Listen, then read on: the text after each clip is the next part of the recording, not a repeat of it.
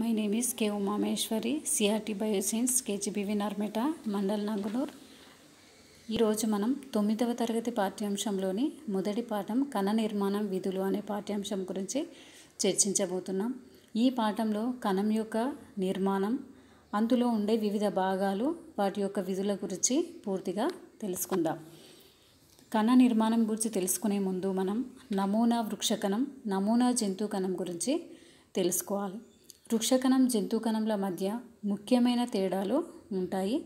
వీటిలో అతి ముఖ్యమైన తేడా కణకవచం కలిగి ఉండడం. రియోపత్రంలో పత్రంలో ప్లాస్మాపుర పరిశీలన కనకవచం వృక్షకణాలలో మాత్రమే కనబడే ప్రత్యేకమైన భాగం. కేంద్రకం బుగ్గ కణాలలో కేంద్రక పరిశీలన.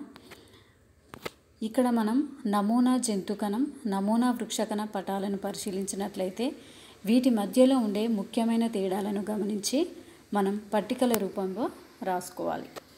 ఇక్కడ బుగ్గ కణంలో కేంద్రక పరిశీలించినప్పుడు మధ్యలో దట్టమైన నిర్మాణం కనిపిస్తుంది. దానిని మనం కేంద్రకం అన్నాం. కణం లోపల ద్రవ పదార్థం ఉంటుంది. ఇది చిక్కటి ద్రవ పదార్థం. ఈ ద్రవ పదార్థంను జీవ పదార్థం అని కూడా అంటాము. అందులో త్వచాలు కలిగిన రేణువులు అనేకం ఉంటాయి. వీటిని కణాంగాలు అంటారు. ఈ కణాంగాలలో ఒకటి అంతర్జీవ ద్రవ్యజాలం. ఈ అంతర్జీవ ద్రవ్యజాలం త్వచంతో కూడిన నిర్మాణం. వీటిలో రేణువుల వంటి నిర్మాణాలు ఉంటాయి. ఈ రేణువుల వంటి నిర్మాణాలను రైబోజోమ్లు అంటారు. ఇక్కడ అంతర్జీవ ద్రవ్యజాలం పటాన్ని గమనించినట్లయితే మనం పూర్తిగా తెలుసుకోవచ్చు. ఇక్కడ రేణువుల వంటి నిర్మాణాలు కలిగి ఉన్న అంతర్జీవ ద్రవ్యజాలాన్ని గరుకు అంతర్జీవ ద్రవ్యజాలం అంటారు. ఈ రేణువుల వంటి నిర్మాణాలను రైబోజోమ్లు అంటారు. రైబోజోమ్లు లేని అంతర్జీవ ద్రవ్యజాలాన్ని నునుపు అంతర్జీవ ద్రవ్యజాలం అంటారు. ఈ గరుకు అంతర్జీవ ద్రవ్యజాలం ప్రోటీన్ల సంశ్లేషణలో సహాయపడుతుంది. మరి నునుపు అంతర్జీవ ద్రవ్యజాలం లిపిడ్స్ మరియు కొవ్వు పదార్థాల సంశ్లేషణలో సహాయపడుతుంది. మరొక కణాంగం గాల్జీ సంక్లిష్టం. ఈ గాల్జీ సంక్లిష్టాన్ని కామెల్లో గాల్జీ అనే శాస్త్రవేత్త కనుక్కోవడం వలన అతని పేరు మీదుగా గాల్జీ సంక్లిష్టాలు అనే పేరు పెట్టడం జరిగింది. ఈ గాల్జీ సంక్లిష్టాలు వివిధ రకాల పదార్థాలు అంటే ప్రోటీన్స్ మరియు ఇతర పదార్థాలను నిల్వ చేసుకొని కొంత సమయం తర్వాత ప్లాస్మా పొర ద్వారా వేరే కణాలకు సరఫరా చేస్తాయి. మరొక కణాంగం లైసోజోమ్స్. ఈ లైసోజోమ్స్ను స్వయం విచ్చితి సంచులు అంటారు.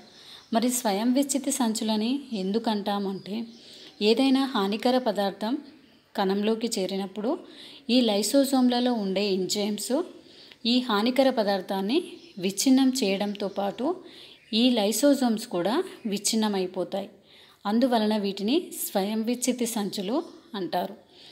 మరొక కణాంగం మైటోకాండ్రియా. మీ మైటోకాండ్రియాలను కణశక్త్వాగారాలు అంటారు. ఈ మైటోకాండ్రియాలో శ్వాసక్రియ జరుగుతుంది. ఇవి మనం తీసుకున్న ఆహార పదార్థాలను శ్వాసక్రియ చెందించి మనకు శక్తిని విడుదల చేస్తున్నాయి కాబట్టి మైటోకాండ్రియాలను కణశక్త్వాగారాలు అంటారు. ప్లాస్టేట్స్ ఇవి వీటిలో ఒక రకమైనవి క్లోరోప్లాస్టులు. ఈ క్లోరోప్లాస్టులలో కిరణజన్య సంయోగ క్రియ అనే చర్య జరుగుతుంది. ఈ కిరణజన్య సంయోగక్రియ ద్వారా మనకు కావలసిన ఆహార పదార్థాలను ముక్కలు తయారు చేయగలుగుతున్నాయి. కణ సిద్ధాంతాన్ని స్లీడన్ మరియు శ్వాన్ అనే ఇద్దరు శాస్త్రవేత్తలు ప్రతిపాదించారు. ఈ కణ సిద్ధాంతంలో కొన్ని అంశాలు చర్చించడం జరిగింది. అవేమిటో చూద్దాం. జీవరాశులన్నీ కణాలు వాటి ఉత్పన్నాలతో నిర్మించబడి ఉంటాయి.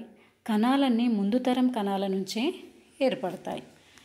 ఇప్పుడు వీటిపైన మీకు కొన్ని ప్రశ్నలు ఇవ్వడం జరిగింది. వీటికి సమాధానాలు రాయండి. వృక్షకణం జంతు కణం మధ్య తేడాలు రాయండి. లైసోజోమ్లని స్వయం విచ్చితి సంచులని ఎందుకంటారు? గాల్జీ సంక్లిష్టం లేకపోతే ఏమవుతుంది? వీటికి సమాధానాలు రాయండి.